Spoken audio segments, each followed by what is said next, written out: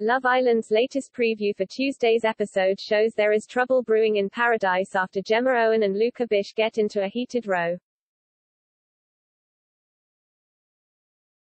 Monday night's episode showed the pair sharing an awkward kiss after Gemma playfully rejected Luca for pretending to snore while she was talking.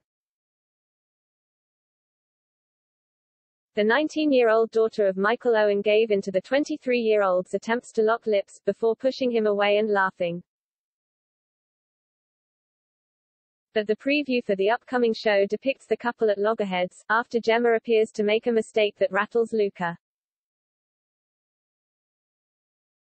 Still wearing their clothes from the previous night's recoupling ceremony, that saw Afia Tonkmor dumped from the island, the pair clash at the fire pit. The clip shows Gemma saying, I am not, before stopping, as the camera shows Luca rolling his eyes, clearly annoyed. She then shouts back, don't roll your eyes at me up asterisk K, it's a genuine mistake. I'm sorry, there's nothing more to it. The clip is cut short there, so fans will have to tune in on Tuesday to find out what caused the argument.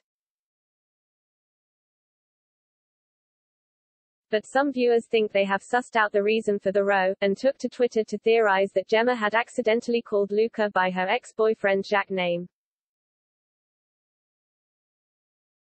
One fan said, I'm calling it now, Gemma has 100% called Luca Jacques and that's why he's kicking off Hash Love Island.